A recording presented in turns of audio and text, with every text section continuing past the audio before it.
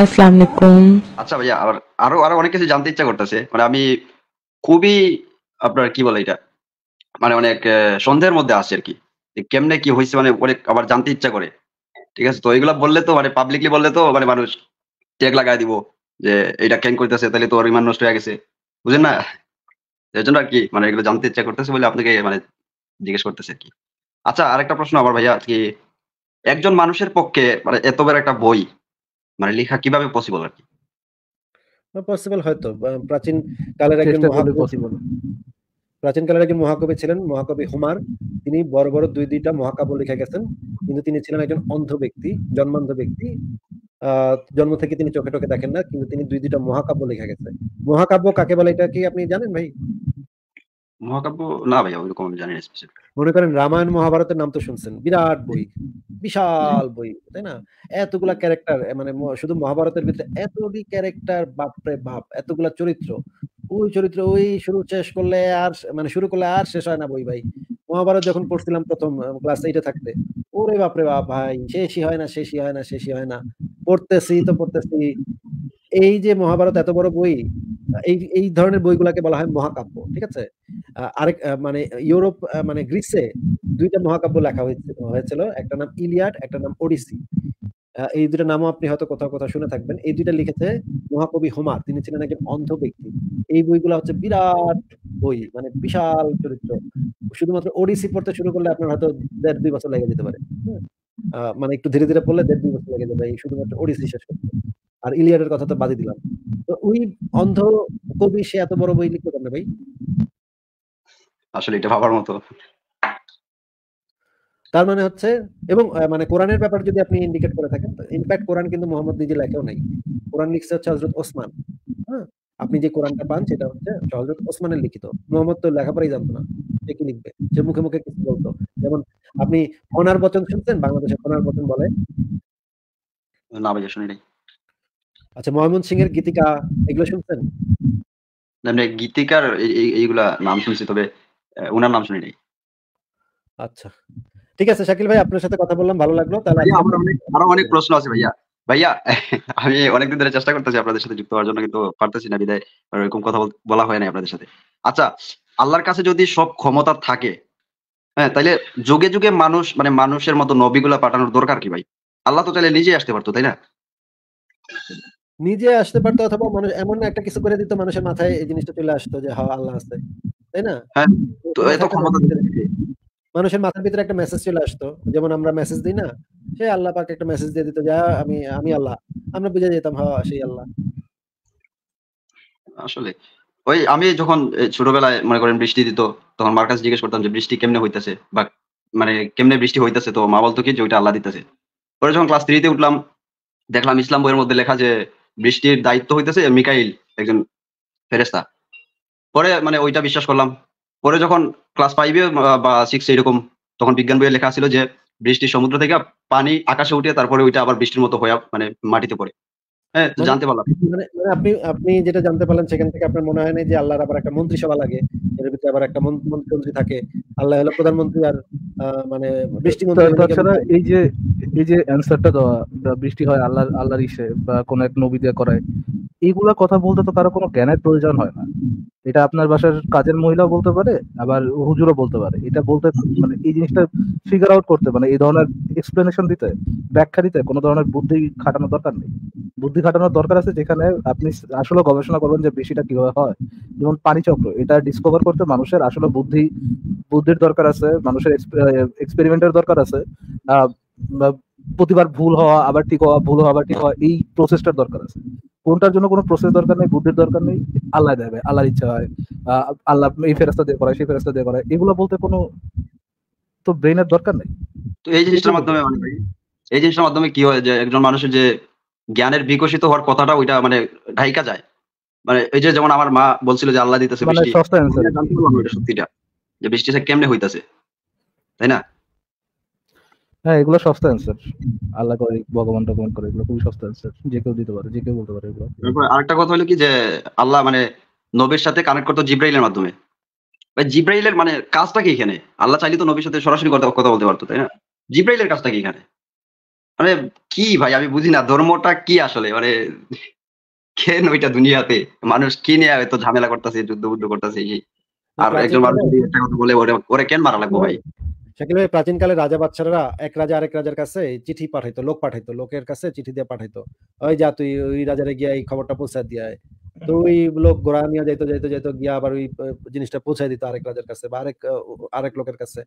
এটা ছিল প্রাচীনকালের সিস্টেম এই কারণে প্রাচীনকালের যে মানুষেরা তারা এটাও মনে করছে যে আল্লাহ মনে হয় এইভাবেই পাঠাইবো নাহলে আল্লাহর তার বেটার কোনো টেকনোলজি জানা নাই। না না মানে ভাই ইসের কাছে আপনার বিবলিক্যাল কোন প্রফেটের কাছে এরকম জিব্রাইল ওহিনী আসতো এরকম শুনছেন ভাই নাকি তাদের সাথে তাদের হ্যাঁ তালমুদে তালমুদে তালমুদে বর্ণিত আছে যে মুসার কাছে ইয়ে আসছিল জিব্রাইল আসছিল আসলে। জিব্রাইলকে। তো তাছাড়া ভাই জিব্রাইল আসার কিন্তু একটা ভালো সুবিধা আছে বিকজ আল্লাহ আল্লাহ যদি সরাসরি ইয়ে করে তাহলে হয়তো কোশ্চেনের যে ফ্লোটা ওটা অনেক বেশি থাকবে। মিরাকল করার মিরাকল দেখার ইচ্ছাটা মানুষের অনেক বেশি থাকবে। রেদার দেন যদি জিব্রাইল আসে ওই কানেকশনও কিন্তু নাই।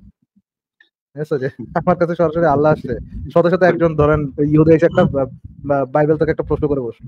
তাকে তো বলতে হবে না যে ও আচ্ছা পরবর্তীতে এসে এসে আমাকে এটা জানাবে। সরাসরি আল্লাহ তার সাথে লাইনে আছে। টাইমটা নেয়ার জন্য যে জিব্রাইল এখন দূরে দূরে আল্লাহর কাছে যাইতেছে। আবার আসবে,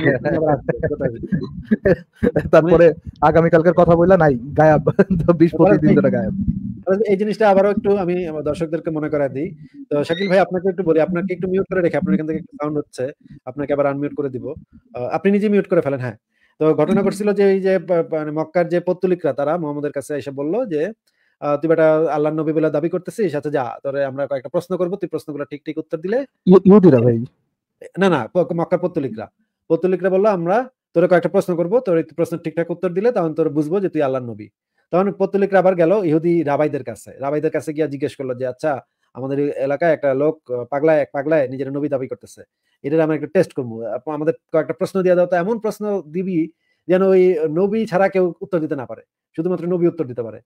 তখন ওই ইহুদি রাবাইরা আবার ওই পত্তলিকদেরকে তিনটা প্রশ্ন দিয়ে দিল যে, এই তিনটা প্রশ্ন গিয়া কর। যদি নবী হয় তাহলে সে এই তিনটার উত্তর ঠিক ঠিক দিতে পারব। আর যদি নবী না হয় তাহলে দিতে পারব না। তখন এই পত্তলিকরা আবার সেই তিনটা প্রশ্ন আইনা মোহাম্মদকে জিজ্ঞেস করল। মোহাম্মদ কইলো যে আচ্ছা ঠিক আছে, এই প্রশ্নের উত্তর আমি কালকা দিব আজকে না, কালকা দিব আমি। এখন না, এখন দিতে পারব না, কালকে দিব একদিন সময় দে আমারে। তখন পত্তলিকরা তাদেরকে একদিন তাকে একদিন সময় দিলে আচ্ছা যা, ঠিক আছে, কালকে কইস। কালকে আবার আসছে। আইসা দেখে মোহাম্মদ নাই। মোহাম্মদ কই? মোহাম্মদ আর খুঁজে পাওয়া যাচ্ছে না হ্যাঁ? মোহাম্মদ আর খুঁজে পায় না, খুঁজে পায় না, একদিন গেল, দুই দিন গেল, তিন দিন গেল, পাঁচ দিন গেল, সাত দিন গেল, দশ দিন গেল মোহাম্মদ আর খুঁজে পাওয়া যায় না। পনেরো দিন পরে মোহাম্মদ খুঁজে পাওয়া গেল, মোহাম্মদ তখন আইসা উত্তর দিচ্ছে যে আমার কাছে এই যে এখন উত্তর আসছে, আমি তো ওই যে তখন যে তোদের কইছিলাম কালকে উত্তর দিব এই জন্য তো আমি আমি তো আল্লাহ ইনশাল্লাহ কই নাই এই জন্য আমার কাছে জিব্রাইল আসে নাই। চিত্তা আল্লাহ পাক চিত্তা গেছিল। আল্লাহ পাক আমার উত্তরগুলো দেয় নাই। আমি তো ইনশাল্লাহ কই নাই এই জন্য আমার উত্তরগুলো ঠিকঠাক মতো জিব্রাইল এসে দেয় নাই। এই যে পনেরো দিন পর আমার কাছে উত্তর আসছে।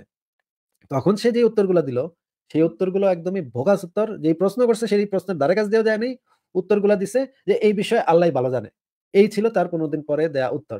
এই যে কথাগুলো আমি বললাম এই কথাগুলো আমি দলিল পনেরো দিন ধরে বানাইছে আল্লাহ ভালো জানে ভাই।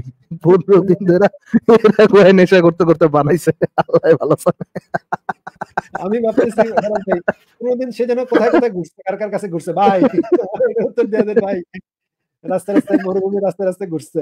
ভাই এটার উত্তর কি হইব ভাই? আমার তো প্রশ্ন করছে আমি তো উত্তর জানি না ভাই। আমার তো মার দিব গেলে তো মার দিব উত্তর না নিয়ে গেলে তো মার দিব।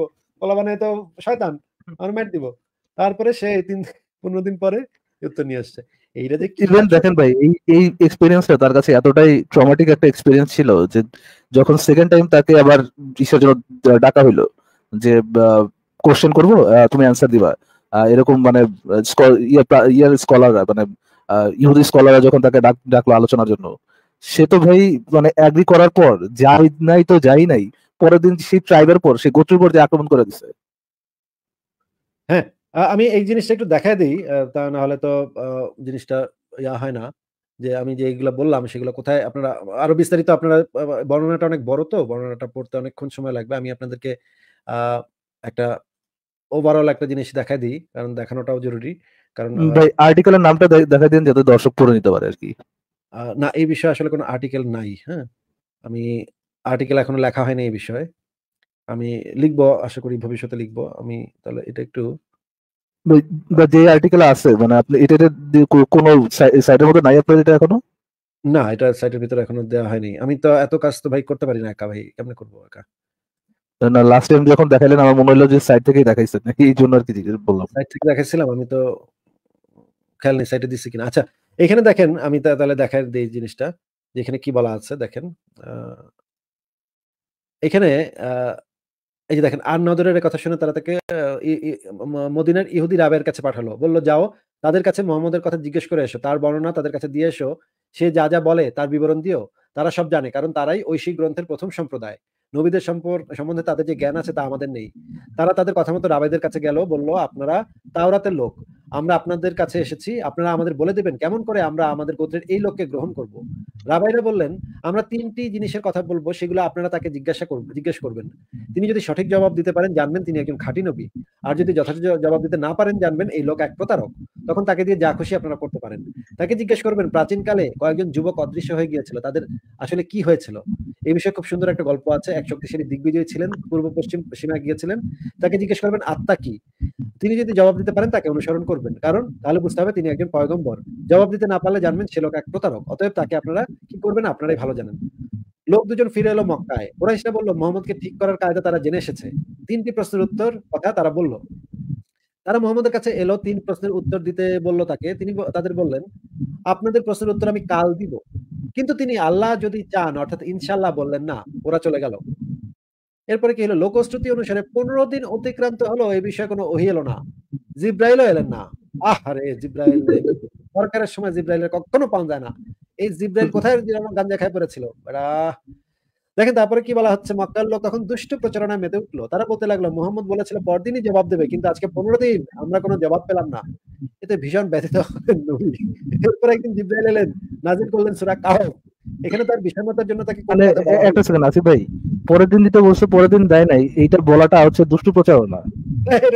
মানে আপনি আমারে বললেন যে ভাই আপনি আমি একটা কোশ্চেন করলাম বললেন আপনি বললেন যে ভাই আগামী আগামী লাইভে দিবেন আপনি আগামী লাইভে দিলেন না ওটাই মানে আর আপনার খোঁজই পাওয়া নেই।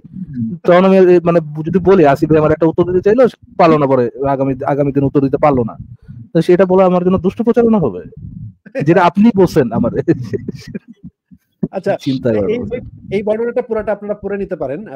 এটা হচ্ছে কোন বই থেকে দেখাচ্ছে? এটা হচ্ছে সবচেয়ে অথেন্টিক বই সিরাতে রাসূলুল্লাহ মহানবীর প্রথম বিশদ জীবনী ইবনে ইসাক। এটা হচ্ছে সবচাইতে মানে সিরাত গ্রন্থগুলোর ভিতরে সবচাইতে অথেন্টিক সবচাইতে প্রাচীন ইবনে ইসাকের অনুবাদ হচ্ছে শহীদ এখন প্রথমা প্রকাশনী। দেখেন এটা হচ্ছে প্রথমা প্রকাশনী থেকে বের হওয়া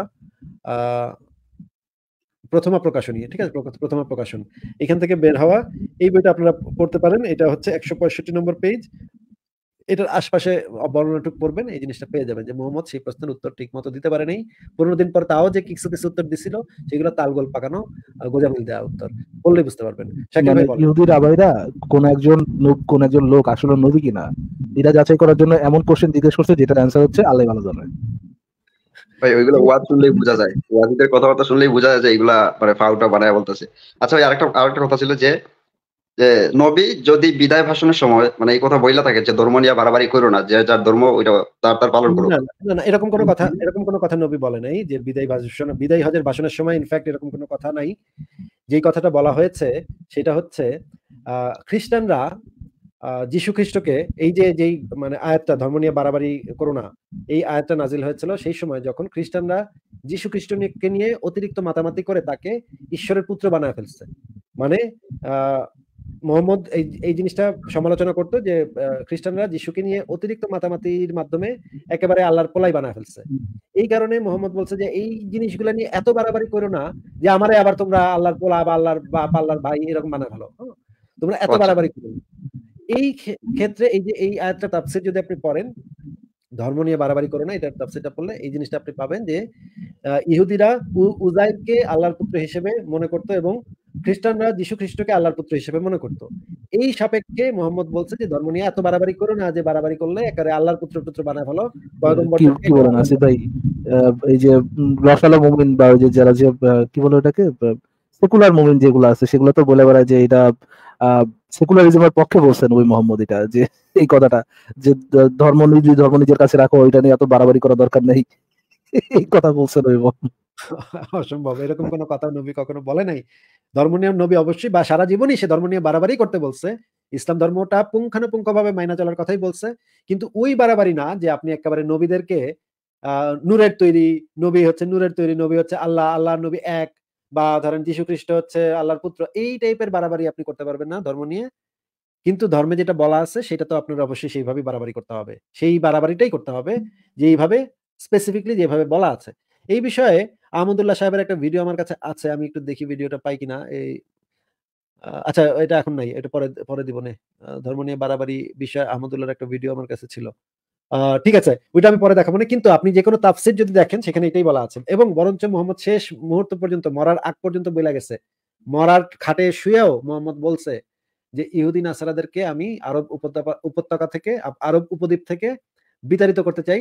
তোমরা সবাই ইহুদি নাসারাদেরকে এখান থেকে বিতাড়িত করো আর মুশরিকদেরকে মাইরা ফেলো। এইটা বইলা গেছে মরার খাটে বৈশা। হ্যাঁ এমনই লোক ছিল যে মরার খাটে বৈশাও পর্যন্ত সে এই রকমের নোংরা কথা বইলা গেছে। আচ্ছা ভাইয়া, কোরআন কার বাণী বলে মনে হয় আপনার? মানে এটা আল্লাহর নাকি নবীর? কারণ অনেকগুলো আয়াত আছে যেগুলো শুনলে মানে মনে হয় যে এক একটা বলতেছে যে নবী আর একটা বলতেছে আল্লাহ। তাই না? তো আপনার কি মনে হয় এটা? মানে এই বিষয়ে আপনার আমার মনে আমি তো এক্স্যাক্টলি বলতে পারব না কার ইয়া তবে আমার যেটা পড়লে মনে হয় সেটা হচ্ছে ওই কয়েকজন মিলা জিলা এই যে কয়েকটা জিনিস বানাইছে এবং নবীরও কিছু বক্তব্য ছিল সেটার ভিতরে আবার পরে ওসমান আইসা এবং সাহাবি কয়েকজন মিলামিশা কিছু কিছু জিনিস ঢুকাই ঢুকাই দিছে এদিক সেদিক করছে এদিক সেদিক কইরা ইয়া একটা বানায় ফেলেছে বই একটা বানায় ফেলেছে এটা তো ইসলামের প্রথম যে ইয়ে প্রথম যে মোতা কি জানি নাম ভাই হ্যাঁ আচ্ছা নাম নামটা তো ভুলে গেছি সাদ নাকি জানি? সাদ, হ্যাঁ আব্দুল্লাহ ইবনে সাদ হ্যাঁ। আব্দুল্লাহ ইবনে সাদ হ্যাঁ আব্দুল্লাহ ইবনে সাদের কাহিনী পড়লে তো বোঝা যায় যে কোরআনটা কীভাবে লিখতো। নবী কোরআন লিখতে বলতেছে এই সময় ইবনে সাদ এর থেকে বেটার একটা ভার্স মনে তার মাথায় বানাইছে বানায় বলছে যে নবী আমার আমার এরকম একটা আয়াতটা এরকম না হয় এরকম হলে কেমন হয়? নবী বলছে আচ্ছা ঠিক আছে ওইরকম করেই লিখো। তোমার মাথায় যেটা আসে বেটার ওটাই লিখো। আমার কাছে এই এই ওইটাই আসে তো তখন সা- সাদ বুঝতে পারছে তাহলে আমি আমি নবী থেকে বেটার আয়াত কেমনে বের করলাম? আমি কি তাহলে নবী? এই কথা ভেবে সে ইসলাম ধর্মই ছেড়ে দিচ্ছে তো এই কথা শুনলে তো বোঝা যায় যে কোরআনটা লেখার আসল আসল প্রসিডিউরটা কেমন ছিল। আচ্ছা আমার মনে হয় শাকিল ভাইয়ের সাথে অনেকক্ষণ আমরা কথা বলেছি। আজকে তাহলে বিদায় জানাই আপনাকে ম্যাক্স স্টেজ ভর্তি হয়ে গেছে। হ্যাঁ। পরে আরেকদিন কথা হবে ঠিক আছে? ভাইয়া পরে কথা হবে মনে। আর ভাইয়া আরেকটা কথা কি আপনারা মানে যেরকম কাজ চালা যেতেছেন চালায় যান আরও ভালো হইব। আর আমরা অনেক কিছু জানতে পারতেছি আপনাদের মাধ্যমে। যে সংশয়গুলো আসছিল বা যে সন্দেহগুলো সন্দেহগুলো আসছিল অনেকগুলা কাটছে সন্দেহ। আর আশা করি আমি আশা করি যে আগামীতে আরও ভালো হইব। ঠিক আছে ভাই, ভালো থাকেন। ঠিক আছে হ্যাঁ, শুভরাত্রি ভালো থাকেন। আপনাকে বিদায় জানাই। আরেকজনকে যুক্ত